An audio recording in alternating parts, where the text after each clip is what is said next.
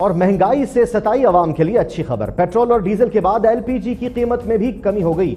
ओगरा ने एलपीजी का घरेलू सिलेंडर एक सौ पचास रुपए सस्ता कर दिया। फ़ी किलो कीमत एक सौ उनतीस रुपए सड़सठ पैसे मुकर करके नोटिफिकेशन जारी।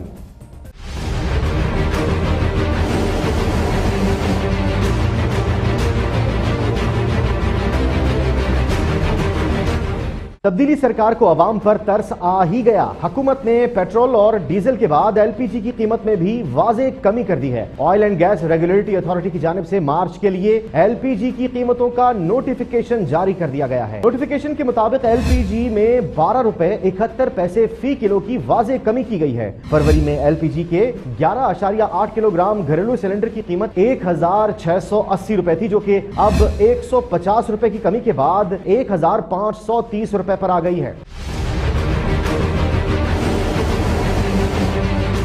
वाजह है कि आइंदा एक माह के लिए पेट्रोल की कीमत पाँच रुपए कमी के बाद फ़ी लीटर एक सौ सोलह रुपए साठ पैसे से कम होकर एक सौ ग्यारह रुपए साठ पैसे। हाई स्पीड डीजल की कीमत पाँच रुपए फ़ी लीटर कमी के साथ एक सौ सत्ताईस रुपए छब्बीस पैसे से कम होकर एक सौ बाईस रुपए छब्बीस पैसे। मट्टी का तेल सात रुपए कमी के साथ निन्यानवे रुपए पैंतालीस पैसे से कम होकर बानवे रुपए पैंतालीस पैसे और लाइट डीजल की फ़ी लीटर कीमत सात रुपए कम करके चौरासी रुपए इक्यावन पैसे से कम करके सतहत्तर रुपए इक्यावन पैसे मुकर की गई है।